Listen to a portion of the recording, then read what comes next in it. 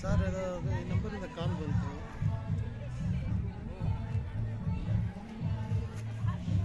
ಹೌದು